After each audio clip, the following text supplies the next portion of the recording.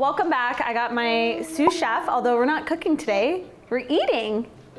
Today I'm sharing my top 20 food hacks for picky eaters. Sage has always been a pretty good eater, but I will say once she turned one, I really started to notice like the toddler pickiness. And I know I'm not alone. So today I'm sharing all my hacks that I have actually tried on Sage and that have worked so you guys can hopefully do them with your toddlers and hopefully have some success because honestly feeding toddlers is a lot and when they're refusing to eat what's on their plate it's even more stressful. So let me show you how to get your toddler to actually eat their food separate their food. There's something about their development once they hit like one or 18 months that they actually mm. don't like their foods touching. I think it has something to do with like foods being safe to eat or not. These little divider plates are great and there, there is a purpose to them. So separating their food so they can clearly see the differences between them and they're not just like all mixed together on one plate honestly help Sage eat and determine which one she wants to eat. Don't overcrowd the plate. So even if you have extra that you heated up, don't put everything at once on the plate. It can be a little bit intimidating if there's just like a lot of food on the plate. In the past, if I put like way too much on her plate, she's kind of like, whoa, and maybe doesn't feel like eating it. But if I just kind of sparsely put it on, that there's like some negative space on the plate,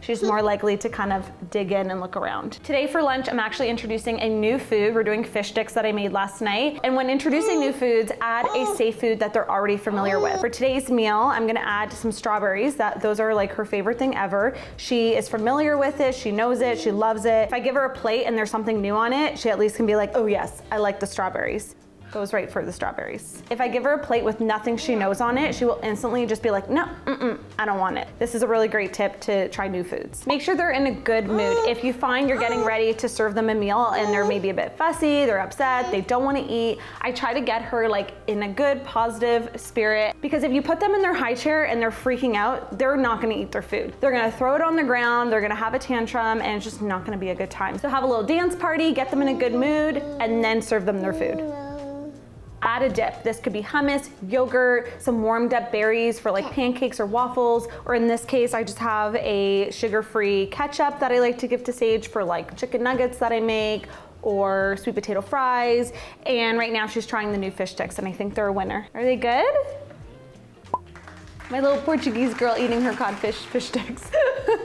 If you're looking for some more recipes to feed your little ones, definitely check out the Baby HealthNut Cookbook. It's a digital cookbook I created with all the recipes that I created for Sage from six months and up. It's great for toddlers. There are over 30 recipes, everything from purees to handheld to baby-led weaning foods, and there's definitely something that your toddlers are going to love. Thousands of parents have already purchased a copy, and there's so many glowing testimonials on the site. Definitely go check it out. Link down below. Change up the location. So as you see right now, Sage is eating next to me at the counter. This is good if they're really fighting the high chair. You can bring them to the table and actually have them eat with everyone at the table instead of like off to the side on the high chair. Um, even just like if I have her food in her plate, sometimes just transferring it to the tray at the high chair sometimes works too. Just like a small change can sometimes make a big difference. This one may seem odd, but sometimes just ignoring them and letting them do their thing, not putting pressure on them will help them try new foods or get interested in what's on their plate. This happened last night. I served her what she's eating right now, beef broccoli and she looked at it right away, was like disinterested because it looked like a new food. And so I was just eating my food and kind of ignored her. After a couple of minutes, she was digging into her plate saying, mmm, delicious. Sometimes that's just like walking, washing a plate or something, not standing over them, watching them and putting a lot of pressure. Cause sometimes like I feel like it puts her on the spot and she's just like, mmm, I don't want it. More? More? Okay. Using sign language can be really helpful, especially before they can actually use words, um, because it just helps them let you know what they want, if they're all done. Mm. I have a full video on how I taught Sage to use sign language. I'll link it here. Offer the same food in different ways or mm. shapes. So if your toddler doesn't like a fried egg, try a hard boiled. If you normally mm. serve your cucumber in little pieces like this, oh, try strips. When we switched to strips, Sage really liked them, especially like steamed carrot sticks. Those are fun and really good to dip too, right? Sometimes it's the smallest change that makes a huge difference for them. It's all about the sensory experience. You're being so silly. Eat the same thing. If everyone is sitting together at the dinner table and your toddler notices that your plate looks different from their plate, they're probably gonna want what you're having. Oftentimes I find this happens with Sage. So if we're eating hamburgers, she's eating hamburgers. If she's having stir fry, we're having stir fry. It doesn't mean we eat the same thing as her every single time, but if we're eating a meal together, I really try to have us all eating the same thing. And that way too, if she does want what's on my plate, I can just give her a bite and be like, mommy's eating the same thing as you, see? And she can kind of see that they look the same. Preload a spoon. This isn't just for new eaters. Even when they're toddlers, sometimes just putting the food on their fork like that just kind of encourages them to put it to their mouth, especially if maybe she's not eating something on her plate. I will just like preload it and leave it there for a bit. And a lot of times she will pick it up and try it. Switch up the utensils. A lot of times if Sage is like getting bored of her fork or threw it on the floor, I will either go grab another one. Sometimes she'll have two. She'll sometimes even use measuring spoons to eat with. She thinks that's fun.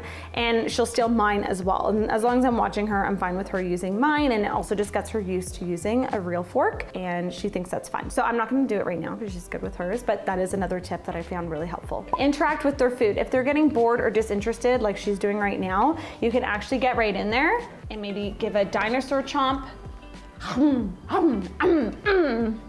Are you a dinosaur? Mmm.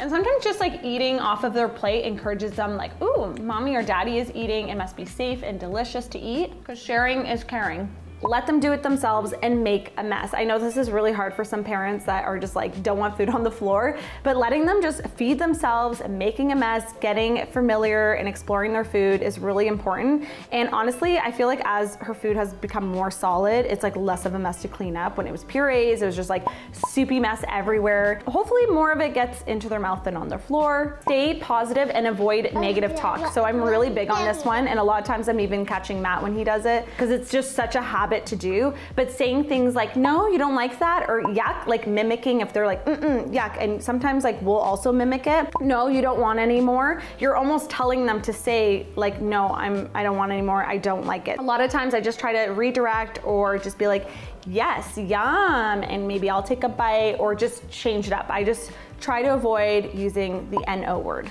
Have them cook with you and get involved more with their food. If you follow me on Instagram, you'll know Sage and I have baked together. We've made pie, we've made pancakes. Recently we made French toast. We even went blueberry picking, which she doesn't even like fresh blueberries, but just the experience of being able to actually pick blueberries right off the bush and pop them into her mouth just got her to all of a sudden like fresh blueberries. So it's really interesting to see how when kids are more involved with their food, they're more likely to eat them.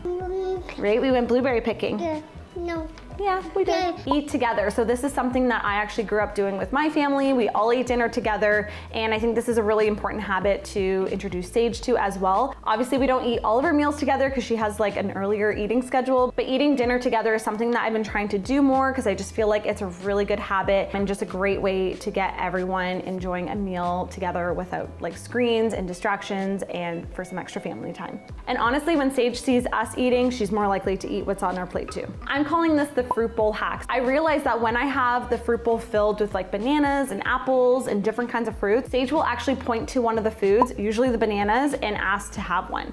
And this is great because Sage doesn't really love fruit as much as she does veggies. So I've been trying to incorporate more fruits and stuff. So even just having things like some freshly washed grapes or cherries on the counter or, you know, bananas or apples in the fruit bowl, just lets them visually see the food and ask for it instead of just like always eating like dry foods from the snack cupboard. They can have a fresh piece of fruit as well. This is a really big one and it is to respect their eating choices. Don't force it, listen to their cues. If Sage is done eating, I don't force another bite. I'll give her a little bit of time to see if she's still hungry. Maybe while we're doing something, she can just kind of hang out in her high chair. But I don't agree with forcing her to completely clear her plate because every day is different and maybe she's full, maybe she doesn't like something on her plate. And obviously you know your kid best. So if they took one bite off their plate and they're like, nope, I'm all done, like obviously you want them to hang out there a little bit longer. But if normally she eats two servings and she only ate one this time, you know, it might just mean that she's actually full and she's all done and maybe we'll have some fruit or something later on. And maybe she had a big lunch that day and she's not as hungry for dinner.